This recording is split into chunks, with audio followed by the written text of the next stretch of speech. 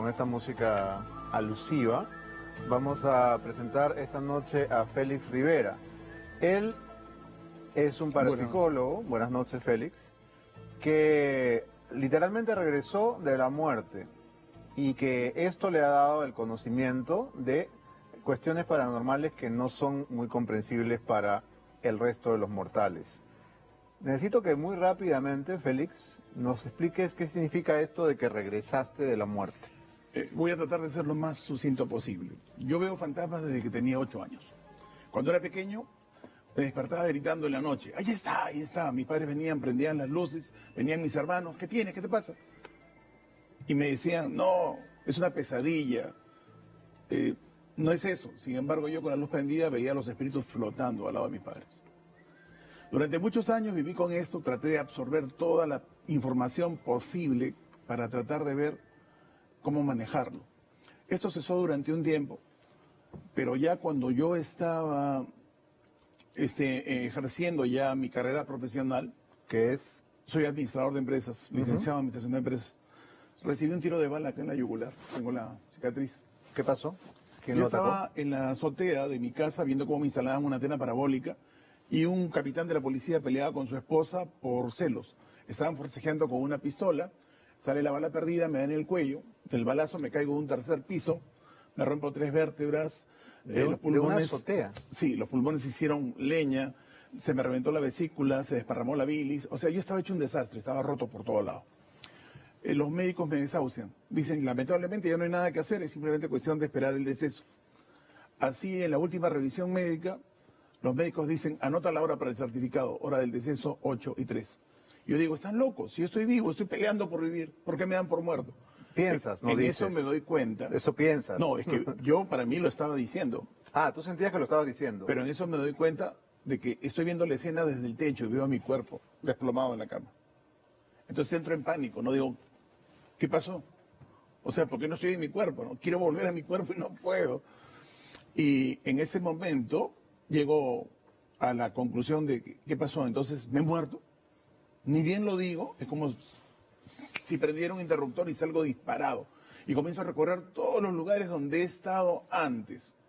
Eso podría esta famosa imagen de retroceder la película, ¿no? Sí, pero, a, una velocidad inusitada. Así, sin perder detalle. Iban pasando los años, iba creciendo, me acordaba de todo lo bueno y lo malo. Hasta que de pronto llegó el momento del accidente, de, todo este periplo, y ya estoy en un campo verde, un campo liceo.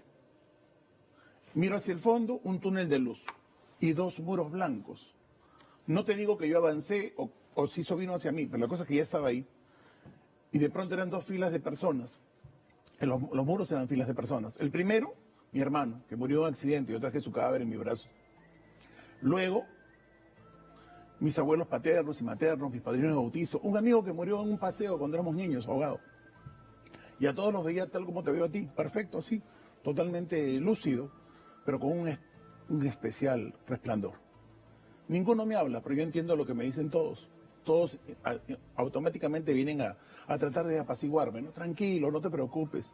Y yo, y mi mujer, y mis hijos, no te preocupes, al final todos nos volvemos a juntar. Tranquilo, mi hermano tenía una forma muy especial de llamarme, ¿no? Y me dice, tranquilo, gordito, esto, lo otro, vamos a estar bien, todos vamos a estar juntos. ¿Cómo se regresa a eso? Comencé a ascender por ese túnel. Morir es la sensación más deliciosa que he experimentado. Literalmente sentía como mi cuerpo se iba disolviendo. Ni el mejor de los orgasmos se puede comparar con la delicia que es morir. Pero yo tenía pánico, tenía miedo porque sabía que, que si bien es cierto, eso era delicioso, yo sentía una luz maravillosa que te producía un calor al fondo, ya no había retorno. Entonces comienzo a llorar y a suplicar, por favor, déjame volver, dame una oportunidad, quiero regresar, con mi esposa, mis hijos. Si era tan, si era tan, tanta paz y tanto placer, ya me estaba dejando ir, pero en eso escuché el desgarrador llanto de mi padre.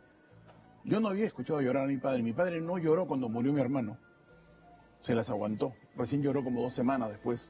Un día se despertó en la noche llorando. Pero así, a, todo grito. Pero ese día escuchas a tu padre y... Escucho a mi padre, escucho a mi mamá, escucho a mi esposa, escucho a los doctores, tratar de consolarlos. Y entonces eso me sacó de, de ese éxtasis y comienzo a robarle. Permíteme volver, te lo suplico. De pronto, ¿A quién una robabas? sensación a Dios. Porque yo sabía que esa luz, eso que está arriba, era Dios. En ese momento, cualquier duda escéptica de que, de que existiera Dios se disipó. Esto es algo tan perfectamente bien hecho que definitivamente tiene que ser un sur- ser superior. Yo ¿Cómo creo- regresas? Yo creo en un Dios creador. Siento una succión. Abro los ojos Una succión como... como que, que- me, como que me absorbieran. Y de pronto abro los ojos y estoy en la clínica. Tengo la, la vista vidriosa. Quiero ver desesperadamente el reloj para ver cuánto tiempo ha pasado de las 8 y 3. ¿Qué era tu hora de muerte? Sí, porque el doctor dijo, anota la hora para el certificado. Hora del deceso, 8 y 3. Y bueno, pues... ¿Cuánto tiempo pasó? la tres minutos casi, aproximadamente. La- Estuviste muerto tres minutos. sí, la enfermera... Clínicamente muerto, Sí. digamos. La enfer- Yo estaba en la unidad de cuidados intensivos, todos los monitores dieron lineal, me pusieron desfibrilador, el espejo en la nariz, todo. La enfermera me está desentubando, preparándome para que entre mi familia a verme. Yo cojo a la chica de, de la manga y le digo, ¿qué horas son? La chica tira la bandeja y sale corriendo, el muerto le había hablado. ¿no? Sale corriendo desesperada, gritando, y por ahí la agarran. Señorita, ¿qué le pasa? Tranquila, ¿qué tiene? No, el muerto se ha levantado, el muerto. No, señorita, son gases. Por gases eruptan, a veces eruptos largos, parece que hablaran. No, si me ha agarrado, me ha zamaqueado y me ha dicho, ¿qué horas son? Entraron corriendo y no lo podían creer, estaba sentado. Pero ahí, es donde empieza la historia. Porque a partir de ese momento yo comencé a ver fantasmas. Me acuerdo que eran las 3 de la mañana, estaba en la clínica, no podía dormir, había pasado una experiencia alucinante. Y cuando estaba descansando, veo que un individuo entra en la habitación. Y yo digo, es alguien que viene a chequear cómo estoy, ¿no? En eso me percato de que la puerta está cerrada. Y entonces me aterro. Pero inmediatamente mi mente trabaja, digo, no, lo que pasa es que seguro me han puesto un montón de drogas y un montón de analgésicos en el suero y por eso estoy alucinando. Y entonces agarro y le digo, ¿y qué tal? O sea, ¿tú quién eres? ¿Tú también te has muerto o, o- estoy alucinando? ¿O eres, mi, o eres un espejismo? ¿Quién eres? No me dice nada, simplemente se acerca a mí y comienza a hundirse en el piso como si fuera un ascensor. Luego aparece una mujer. Esa sí fue eh, eh, es- hasta cuando me acuerdo me estremezco. Se acercó hacia mí a una velocidad inusitada y me soltó su, su aliento, su vaho en la, en la cara. Me estremeció. Y yo estaba echado y ella me atraviesa de lado a lado. Cuando ella me atraviesa, siento como que todo mi cuerpo sufriera una, una contracción, no sé, una cosa terrible, ¿no? Y yo estaba desesperado. Al día siguiente quería hablar a primera hora con el doctor para decirle, doctor, lo que me están poniendo en el suero me puede producir alucinaciones porque ayer eh, me ha pasado esto, esto, esto. El doctor me escucha y me dice, mira, la verdad es que no te estamos poniendo ahorita ningún calmante, porque no sabemos ni siquiera por qué estás vivo. Y si te pusiéramos algún tipo de calmante, etcétera, de repente eso mueres podría hacer que el corazón de nuevo se vaya. Félix, Pero, tenemos, entonces- tenemos que hacer una pausa, es, es- es fascinante lo que nos cuentas, Eh, pero cuando regresemos, eh, Félix nos va a contar cómo es verdad que aquí en el set de ATV hay un espíritu que tú has encontrado. Aquí en ATV hay varios, Ok. te los puedo atestiguar, y inclusive Bueno saberlo. se ha corroborado. Hay que tener miedo de los vivos, dicen. Sí, Ya regresamos, amigos. Estamos Conversando con el parapsicólogo Félix Rivera y quería que vieran ustedes esta imagen de una estación de bomberos que a mí me parece la más sorprendente de todas. Eh, fíjense ustedes, entre los dos automóviles aparece la, figura de un, de un humano gateando. Miren al fondo.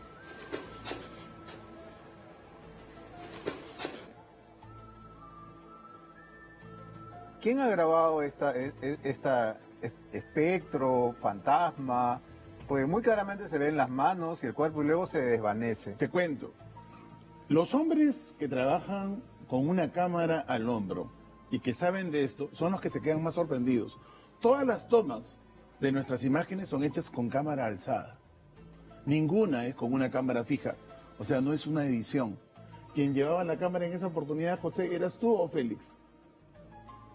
Él. Ajá. ¿Qué es? Es eh, una persona que falleció ¿Por qué, está, ¿por qué está reptando? ¿Por qué está Porque gateando? seguramente él se suicidó, lo eh, llamaron a los bomberos, pero los bomberos ya no llegaron.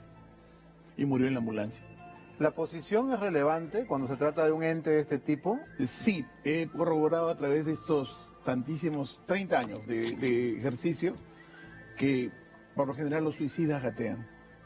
Los y, suicidas. y solamente se Porque se quedan en este plano, digamos. Sí, claro. No pueden, no pueden irse del todo. Los, los teólogos dicen que es por haber renunciado al don de la vida. ¿no? Muchos dicen, en mi casa hay un niño, hay un niño que juega, que corre, ¿no? Este, ¿quién es este niño? Hay que tener cuidado porque por lo general no son niños. Los niños son seres puros, entonces ellos no se quedan en este plano. Cuando ellos mueren, por lo general se van casi en forma inmediata, van hacia la luz. Pero muchas veces hay espíritus que adoptan esa forma para poder hacer un primer contacto y acercarse a la persona. A veces ese amigo imaginario puede resultar algo terrible, luego. ¿Cómo qué? como una entidad que luego quiera poseerlo. Está También- buscando un huésped, Está buscando un, un una- huésped a quien poseer. Claro. También es muy frecuente que la gente diga, eh, tenía una pesadilla y yo sabía que estaba eh, dormido pero no me podía despertar y había alguien o eh, presionándome o encima de mí o estrangulándome y yo no podía despertarme. Eso se llama parálisis del sueño. La parálisis del sueño es un fenómeno que, toda- que todas las personas dicen haberlo experimentado, aunque sea una vez en su vida.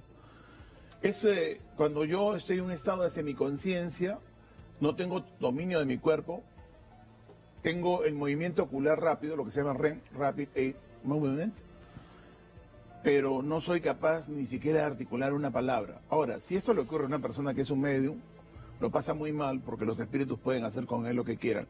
O si le ocurre a una persona en una casa o en un hotel donde penan, bueno, por lo general siente que lo estrangulan, que se sientan sobre él, que tocan sus partes íntimas, lo que le genere más temor. ¿Por qué? Porque los fantasmas son consumidores de energía. Cuando nosotros nos aterramos, segregamos una sustancia que se llama adrenalina. La adrenalina abre un puente que nos permite liberar energía, energía que ellos absorben. ¿Por qué usa esos anillos? Bueno, son de plata. La plata de los metales es como si se tratara de un antibiótico. Aparte de ¿Podrías eso, mostrarlos un poco? Sí. Hacia allá, hacia allá. Ahí están. Eh, todos son de plata y todos tienen una piedra negra. Sí. ¿Por qué?